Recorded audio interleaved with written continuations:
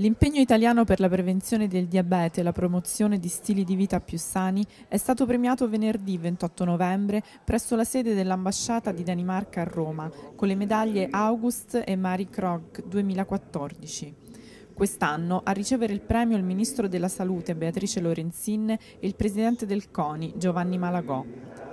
Un riconoscimento prestigioso conferito ogni anno a personalità del mondo scientifico, economico e sociale italiano da una giuria nominata dall'Italian Barometer Diabetes Observatory Foundation e presieduta dal professor Renato Lauro.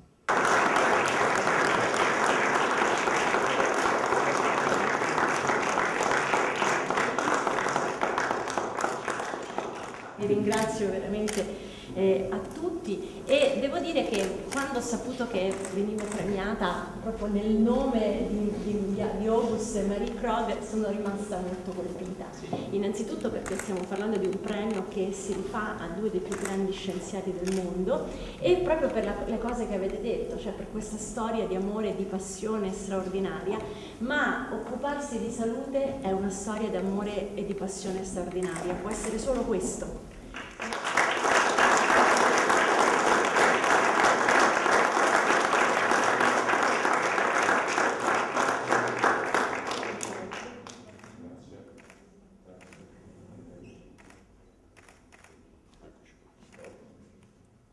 3,5 milioni è il numero delle persone affette da diabete in Italia, una vera e propria emergenza sanitaria che ha costi complessivi pari a 10 miliardi di euro. Ma cosa si può fare e cosa stanno facendo le istituzioni per prevenire e curare questa malattia? Il Ministero sta facendo moltissimo, in questo anno abbiamo inserito nuove linee guida per il diabete, abbiamo fatto una serie di operazioni che rendono più facile l'utilizzo dei farmaci, così come cercato di omogenizzare gli interventi, ora stiamo anche facendo un registro nazionale per i diabetici. Nel, eh, in tutta l'azione di quest'anno sulla prevenzione e la lotta alle malattie croniche non trasmissibili abbiamo posto gli stili di vita, la prevenzione, la diagnosi precoce e soprattutto la capacità veramente veramente di eh, saper essere consapevoli del, dei comportamenti al centro delle nostre politiche. Però qui nel nostro Paese ora c'è una maggiore consapevolezza eh, da parte diciamo, degli operatori sanitari e anche delle persone già malate, ma non c'è ancora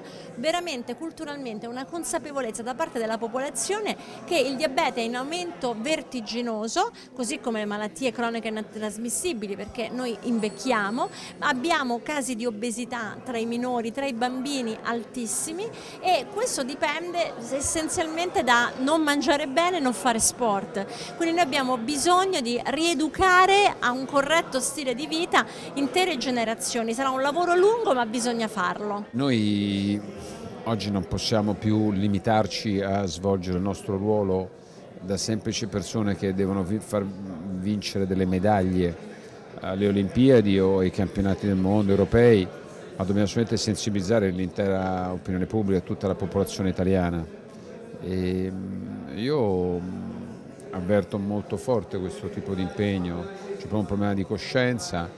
perché poi si, si, lascia un paese secondo me molto migliore o peggiore a seconda delle azioni che oggi noi facciamo in particolare sulle nuove generazioni. Siamo un paese che abbiamo delle eccellenze però con grande franchezza abbiamo delle grandi criticità bisogna spiegare bene le cose, raccontarle, educare, c'è un tema di cultura sportiva dove siamo arretrati, sto, ci stiamo impegnando il più possibile.